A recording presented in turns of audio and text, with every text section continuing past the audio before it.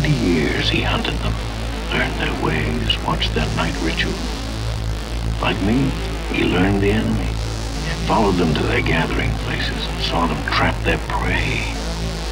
Maybe that's what twisted and the hunt. The desire to avenge what had happened and stop it from ever happening again.